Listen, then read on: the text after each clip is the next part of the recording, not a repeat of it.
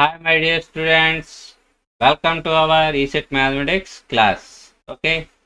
Today we are discussing an integration problem. It was asked in ECET 2018 AP examination. Okay. Let's go to the problem. Integral 0 to pi by 2 sine square x into dx. Let's go for the solution. Okay. Integral 0 to pi by 2 sine square x dx. So we cannot directly integrate the sine square x. So it can be written in cos power 1x or sine power 1x terms. Convert into cos power 1x or sine power 1x. Okay. So sine square x is equal to a very good relation is there. That is sine square a is equal to 1 minus cos 2a by 2. So sine square x is equal to 1 minus cos 2x by 2. Substitute in our problem.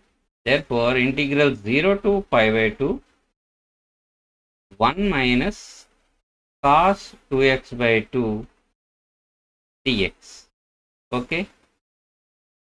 So, 0 to pi by 2 take 1 by 2 outside 1 minus cos 2x into dx.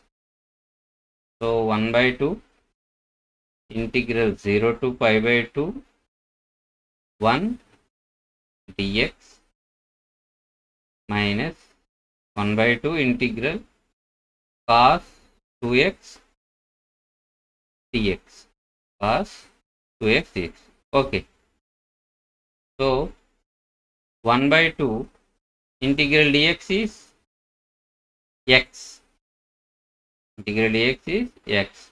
Limits are 0 to pi by 2 minus 1 by 2 integral cos 2x dx is sine 2x by 2. Limits are 0 to pi by 2.